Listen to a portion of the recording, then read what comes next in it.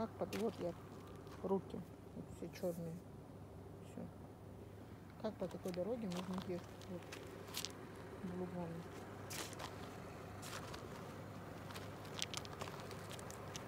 Вот как? Как здесь может поехать автомобиль?